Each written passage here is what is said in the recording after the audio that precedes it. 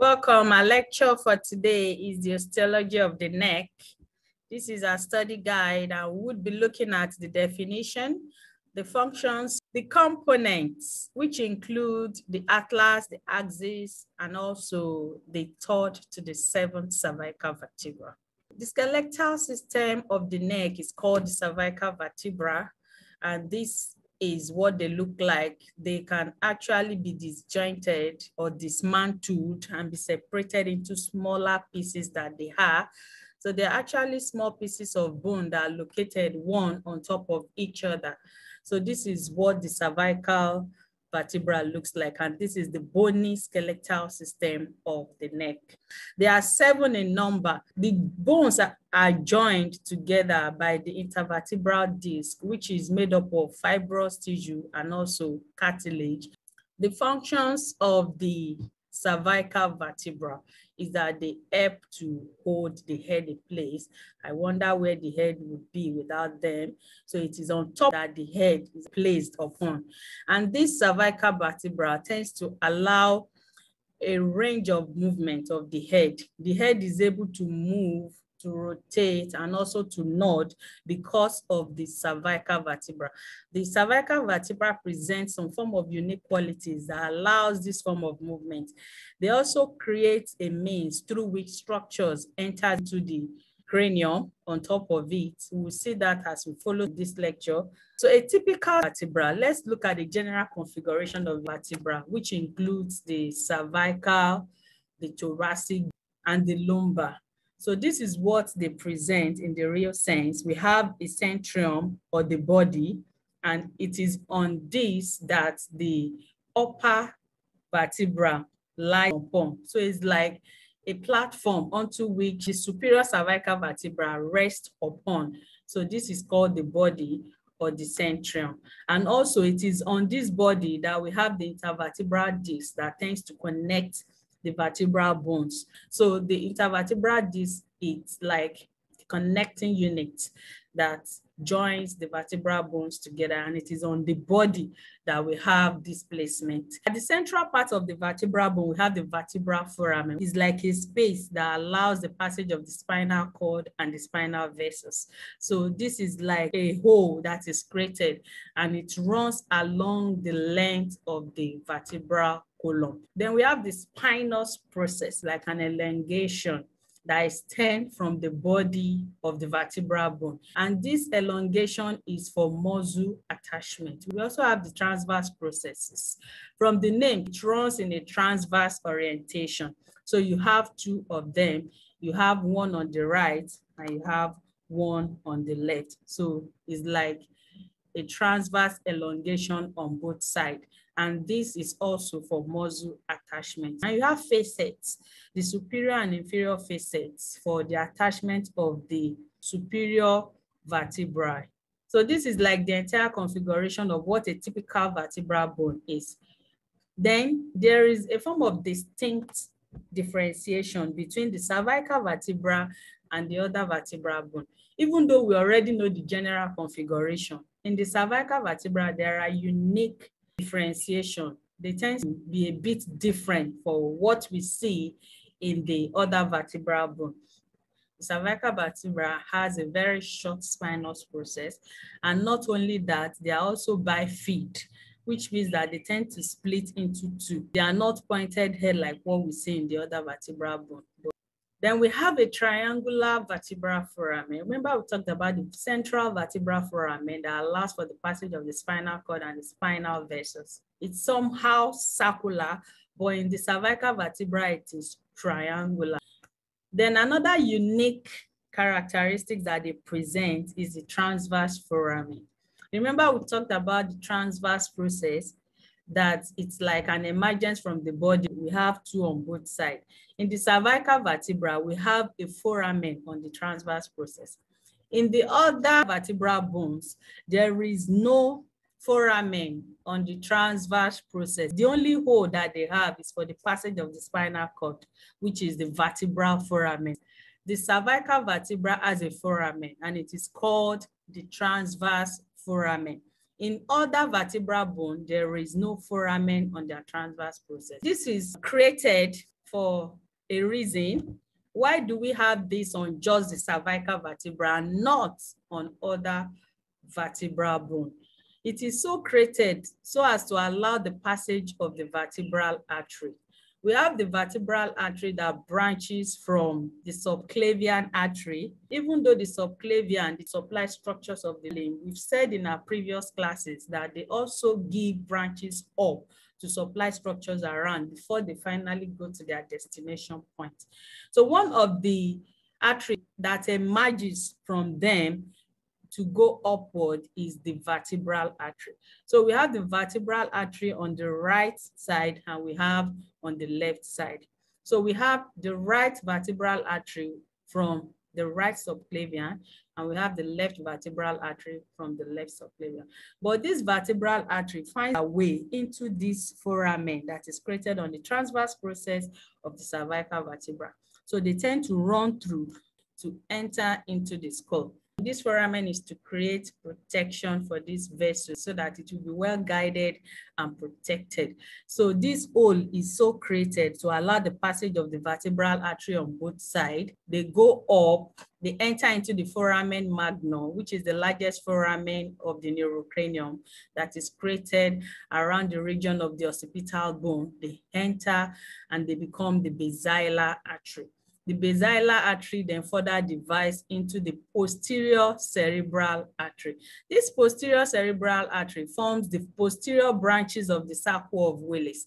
The circle of Willis is the major blood supply to the brain that is contained within the cranium. So you can see that this vertebral artery is going up into the skull to form a contributory branch to the circle of Willis. So this is why we have the transverse foramen created in the transverse process of only the cervical vertebra because in the lower vertebra, we include the thoracic vertebra and the lumbar vertebra, the vertebral artery is not there.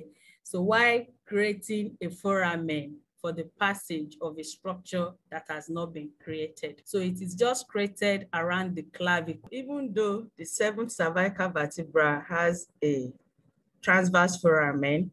The vertebral artery passes around the transverse process of the seventh cervical vertebra to enter into the transverse foramen of the sixth cervical vertebra. It is important for us to know that the first and the second cervical vertebra are distinct. They are not the same. They are different in terms of morphology. And that is why they are being given different names. The first cervical vertebra is termed the atlas, while the second cervical vertebra is termed the axis.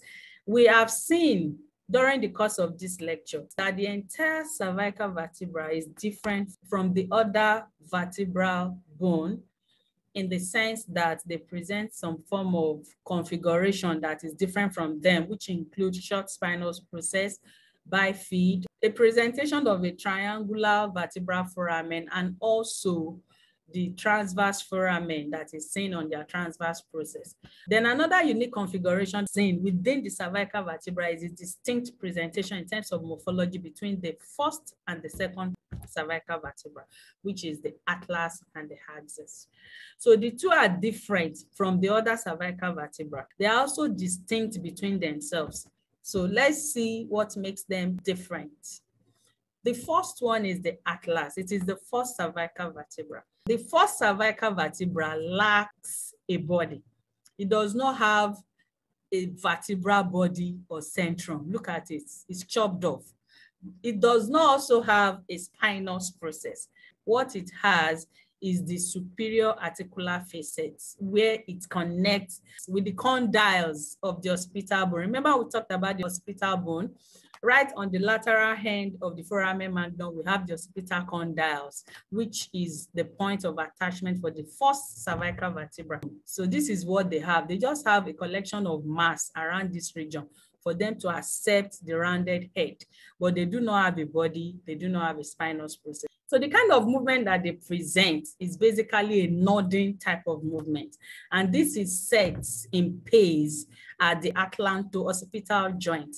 The atlanto-occipital joint is a connection point between the atlas and the occipital bone.